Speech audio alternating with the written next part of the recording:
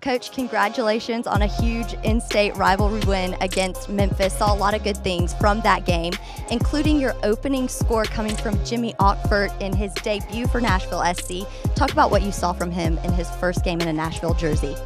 Well, Jimmy's somebody that, that we've known about at the club for a good while. He's a very, very strong professional. I felt we needed a little bit of support and some help in that area. Jimmy couldn't have done any better.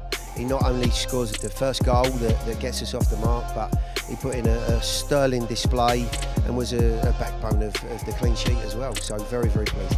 And last time you guys faced Indy 11 earlier this season, you had played seven games in just 21 days.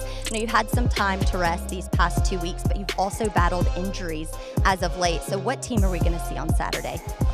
We've got some injuries coming back. The medical staff have done a great job. Uh, guys like Lancaster and, and uh, LaGrassa, we felt were going to be longer term injuries, are, are, back in the mix again. Kenny Tribbett's fully fit, you know, that's a huge boost for the group. So we'll, I've pretty much got a whole group other than Derek Jones to choose from. It will need to be a strong outfit. I'm going to keep my cards close to my chest, I hope you don't mind. The side that goes out there will be more than capable of getting this job done. And, uh, you know, we're expecting a tough task, of course fabulous arena, great occasion, and we hope to, to come away with the points, of course. Anyone who follows Nashville soccer knows how big this game is on Saturday, but they say big players show up in big games. Who do you need to show up on Saturday? I think we've been very, very fortunate.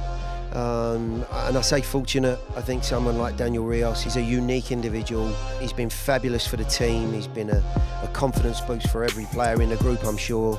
Strike rate has been fabulous. He's been extremely creative. Um, you know, we should expect to see Daniel out there at the weekend and hopefully he can continue that good form.